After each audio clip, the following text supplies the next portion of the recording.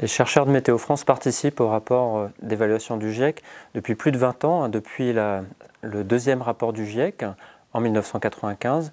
je dirais qu'ils y participent de deux façons. D'une part en participant directement à l'écriture du rapport, mais d'autre part aussi par leurs recherches qu'ils euh, décrivent et qu'ils expliquent dans des publications scientifiques qui sont ensuite reprises par les rapports du GIEC. L'équipe d'écriture des rapports se décompose par niveau de responsabilité. On trouve d'abord les coordinateurs de chapitres qui ont pour but de coordonner l'écriture des différentes parties de chaque chapitre qui est euh, dédié à l'évaluation scientifique.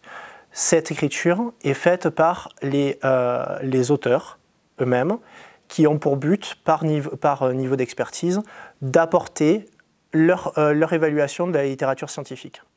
On trouve également des euh, scientifiques de chapitre qui ont pour but d'aider les auteurs et les coordinateurs de chapitres à refaire des figures, refaire des analyses qui ont été publiées dans la littérature. Et enfin, on, trouve les éditeurs de chapitres qui ont pour but d'aider l'équipe d'écriture à répondre aux critiques des différentes évaluations, car l'écriture de chaque rapport se fait par phase. Une phase d'écriture de brouillon qui sont évalués par la communauté scientifique ou par les parties prenantes.